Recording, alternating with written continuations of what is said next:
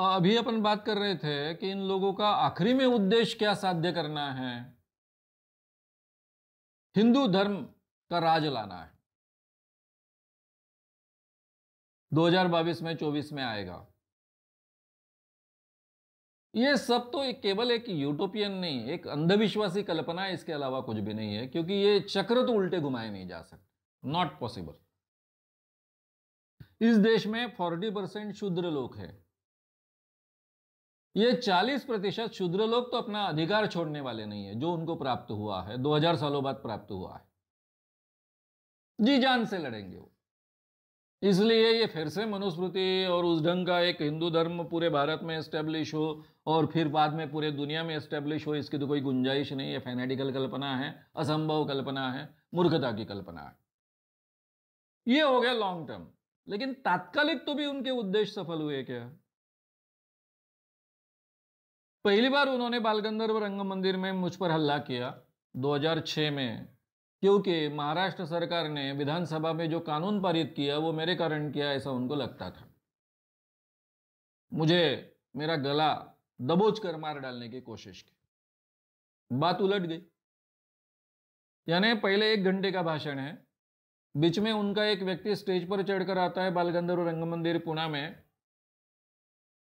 मेरी मुंडी पूरी तरह से पकड़ लेता है, जकड़ लेता है और उसके ज़रिए मुझे मार डालने की कोशिश करता है।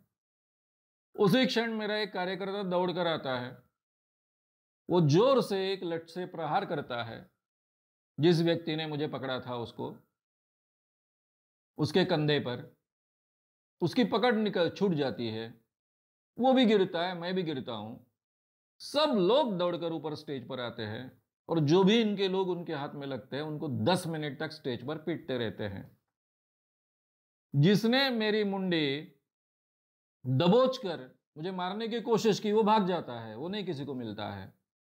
काफ़ी लड़कियाँ होती है, वो भी भाग जाती है। लेकिन जितने मिलते हैं, उनको 10 मिनट तक 12 मिनट तक स्टेज पर पीटा जाता है। ये सब वीडियो रिकॉर्डिंग हो चुका है। और उसके बाद में शांति से एक घंटा कार्यक्रम पूरी तरह से चलता है। अब उस कारण क्या हो गया? शायद उन्होंने कभी कल्पना नहीं की थी कि ये लोग इतने तैयारी में हो गए। आम आदमी भी हमको पीटेंगे, इसकी उनको कल्पना नहीं होगी। बहुत बड़ा षड्यंत्र था। इसके बारे में विस्तार से मैं बाद में कहूँगा, केवल अभी इस प्रश्न के जवाब के लिए जितना आवश्यक था उतनी बात कहकर आगे जाऊँगा। उससे मेरा कुछ नुकसान हुआ क्या? मैं दबकर घर में बैठा क्या? उल्टा और ज़्यादा काम करने लग गया। मेरा संगठन और ज़्यादा तीव्रता से काम करने लग गया। बाद में इन्होंने बहुत प्रयास किया कि कानून नहीं होना चाहिए महाराष्ट्र में। शायद उसमें वो सफल हो गए। बाकी कुछ पॉलिटिकल पार्टीज़ के सहयोग से कानून अटका रहा। विधानसभा में पारित हुआ, लेकिन विधान परिषद में पारित नहीं हुआ, फिर वो ज़ीरो पर आया। उनको ऐसा लगता था कि डॉक्टर नरेंद्र दाभोलकर ये अंधविश्वास के खिलाफ काम करते हैं, यानी धर्म के खिलाफ काम है। और दूसरा ये कानून करने के लिए कोशिश करते हैं। अब मानव पर तो अटेम्प्ट कर चुके हैं, सक्सेस नहीं हुआ। तो उन्होंने डॉक्टर नरेंद्र दाभोलकर को 2013 20 अगस्त को मार दिया। मारने के बाद काम खत्म हुआ क्या? उल्टा हम जो इतने सालों से काम करते आए, डॉक्टर नरेंद्र दाभोलकर पहले मेरे संगठन में काम करते थे, इतने सालों तक हम काम करते आए तो लोगों ने इस काम को जितना महत्व इतने सालों में नहीं दिया, उससे ज़्यादा महत्व डॉक्टर नरेंद्र दाभोलकर जी के मर्डर के बाद में दिया। इस काम की चर्चा पूरे देश में होने लगी। अंधश्रद्धा निर्मूलन की कानून की चर्चा पूरे देश में होने लगी। और डॉक्टर नरेंद्र दाभोलकर का मर्डर होने के बाद में महाराष्ट्र सरकार ने, तब कांग्रेस और राष्ट्रवादी का गवर्नमेंट था, निर्णय लिया कि हम इसका ऑर्डिनेंस निकालेंगे। और बाद में मैं था।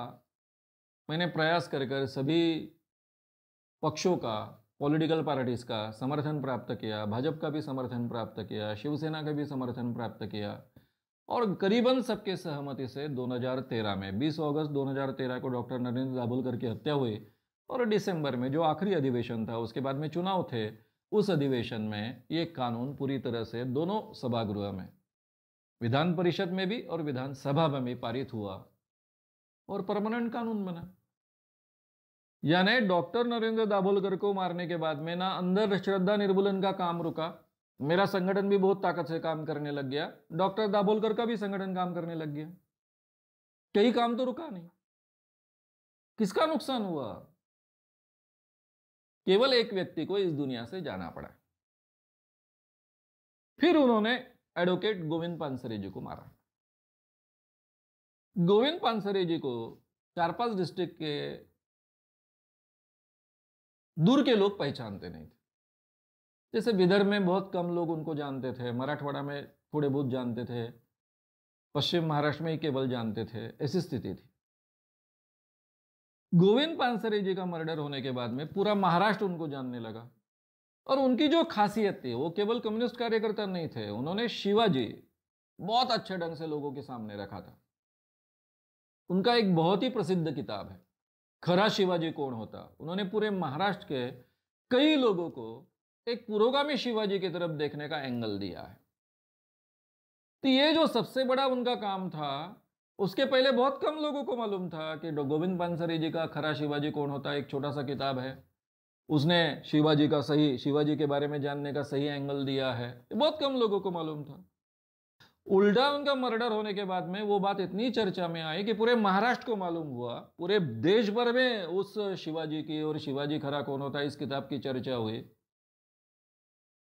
और जो शिवाजी, वो लोगों तक पहुंचाना नहीं चाहते थे, वही शिवाजी पहुँच गए। आम आदमी का शिवाजी, रहते सा राजा शिवाजी।